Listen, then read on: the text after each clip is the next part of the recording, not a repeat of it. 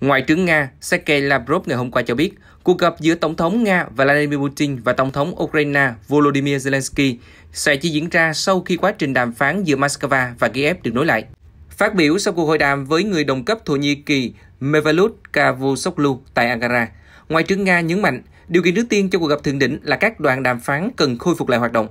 Ngoại trưởng Lavrov cũng nhấn mạnh đã gần 2 tháng kể từ khi Nga chuyển cho phía Ukraine dự thảo hiệp ước mà phía Moscow đã đề xuất vào giữa tháng 4, nhưng đến nay vẫn chưa nhận được bất cứ phản hồi nào từ Kiev. Trong khi đó, cùng ngày, người phát ngôn Điện Kremlin Dmitry Peskov cho biết cuộc gặp giữa Tổng thống hai nước Nga và Ukraine ở thời điểm hiện tại là không thể thực hiện được vì phía Kiev đã rút khỏi tiến trình đàm phán.